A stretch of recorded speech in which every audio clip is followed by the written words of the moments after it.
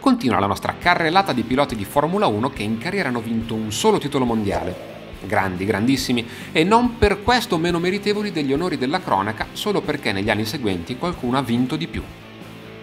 Nella prima puntata vi abbiamo parlato di Nino Farina, il primo iridato di Formula 1 nel 1950 in ordine cronologico, verrebbe Mike Hawthorne con il suo titolo del 58, ma di Mike abbiamo già parlato approfonditamente nella serie di speciali dedicati ai piloti Ferrari Primavera e che trovate al link in descrizione.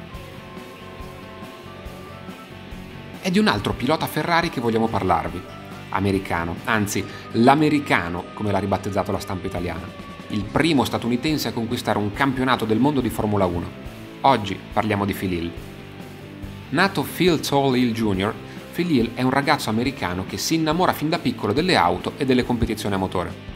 Abbandona dopo due anni gli studi all'Università della South California per iniziare a fare il meccanico. Mette da parte qualche soldo che gli serve per acquistare una MGTC con cui inizia a correre nel 48. L'anno dopo si trasferisce in Inghilterra dove trova lavoro alla Jaguar Qui impara il mestiere e lo stile di guida europeo per tornare a Pebble Beach perché, dove oggi si celebra il concorso d'eleganza, una volta si correva e Hill vince. Si mette in mostra la carriera panamericana del 52 a bordo di una Ferrari, dove chiude al sesto posto. Nel 54 fa coppia con Carroll Shelby su una Ferrari 750 Monza alla 12 ore di Sebring, corsa che termina al secondo posto assoluto. Nel 1956 è ormai entrato stabilmente nella galassia Ferrari, dove inizia a inanellare un'ottima serie di piazzamenti e di vittorie. L'anno magico è il 58, con i successi alla 1000 km di Buenos Aires, alla 12 ore di Sebring e alla 24 ore di Le Mans. Hill vuole la Formula 1, ma i volanti Ferrari sono già tutti occupati e così paga di tasca propria il suo primo Gran Premio a ruote scoperte quando affitta la Maserati 250F dell'amico Joe Bonnier per il Gran Premio di Francia che chiude al settimo posto. Dopo quanto successo a Musso e Collins, Enzo Ferrari lo chiama per offrirgli il ruolo di scudiero di Hawthorne per il resto della stagione, ruolo che il ricopre egregiamente, scortando l'inglese a Monza e in Marocco. Siamo nel 61, il suo anno di grazia. Phil è un pilota Ferrari di punta per la Formula 1 in quella stagione. La 156 F1 è la monoposto da battere. La lotta è interna alla scuderia di Maranello quando si arriva al Gran Premio d'Italia c'è un giovane scozzese che si sta mettendo in mostra e che potrebbe dare fastidio agli uomini Ferrari, di cognome fa Clark.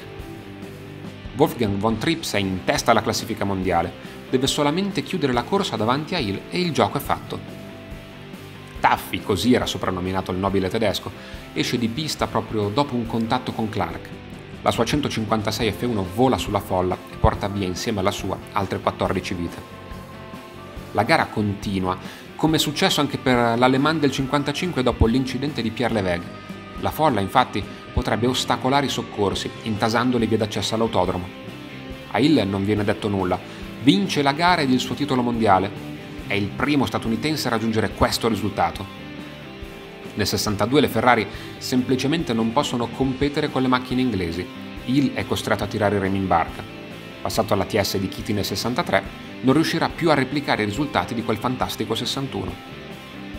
Direi che si può benissimo racchiudere la figura di Hill in questa sua frase. Stare alla Ferrari era una specie di inferno dove sembrava di picchiare la testa contro un muro di mattoni, ma non importava perché era il più bel muro del mondo. Noi ci vediamo al prossimo video di motorsport.com. Ciao a tutti!